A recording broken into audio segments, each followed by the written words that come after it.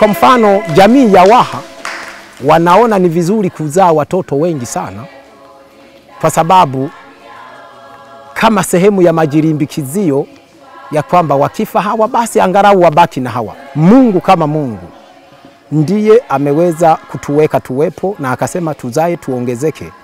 Na katika kuzaa na kuongezeka, kuna mahali alisema na tuitiishe hii dunia, maana yake tuifanye dunia iwe chini yetu, tusi, tusi, isiwe juu yetu.